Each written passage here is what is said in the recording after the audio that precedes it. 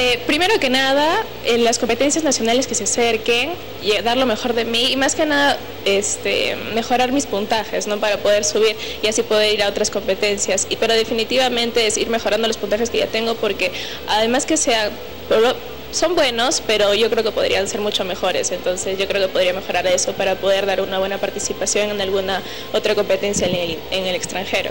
¿Y esos puntajes eh, podrían mejorar por mayor entrenamiento o por mayor incidencia en algún tipo de entrenamiento, de repente por mayor incidencia en un entrenamiento físico, eh, nutricional? ¿En qué crees tú que tienes que incidir más para poder llegar a esos puntajes que deseas?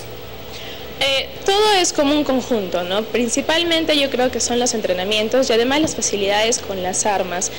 Sería mucho mejor si cada uno de nosotros los tiradores tuviéramos nuestra propia arma, lo cual no se da ahorita en el caso. Entonces, como compartimos arma, tenemos que estar en constantes cambios y a veces eso eh, retrasa un poco nuestro propio aprendizaje. Entonces, muy aparte de, las facilidades que nos pueda dar tal vez la, federación con, con, darnos un poco más de armas o un arma especializada para cada uno, yo creo que también serían los entrenamientos y definitivamente la preparación física para que nos ayude con la resistencia y alimentación que es básica en cualquier deportista.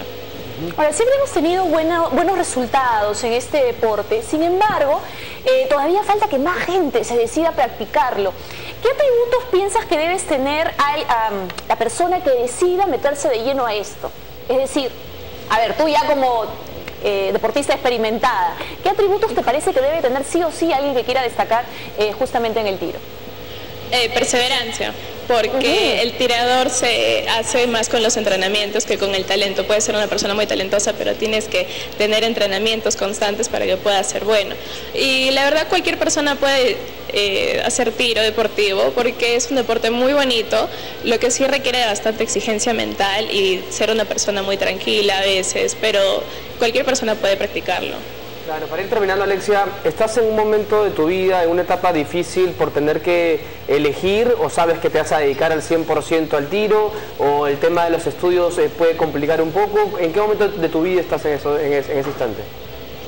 Eh, ¿Puedes repetir otra vez la pregunta? Te si estás en un momento, de, te decía, complicado porque, a ver, a tu edad, eh, de repente a veces algunos deportistas toman decisiones o si dedicarse 100% a la disciplina deportiva, ¿no es cierto? Y dejar otras cosas como podría ser estudios o trabajo u otras responsabilidades que tienen o seguir siempre palmo a palmo con las cosas que, que suelen tener. Entonces eh, te preguntaba en qué momento de tu vida estás es difícil poder llevar una carrera y el deporte de la mano.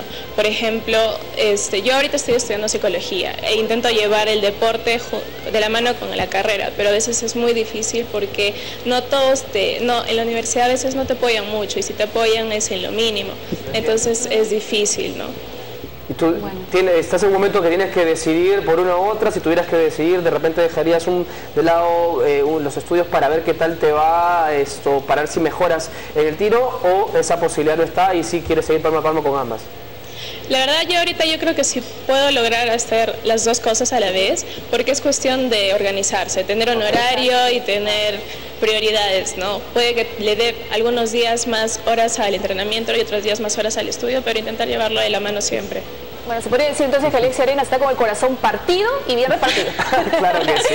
Gracias Alexia por haber estado con nosotros y que sigan los éxitos. Muchas gracias a ustedes.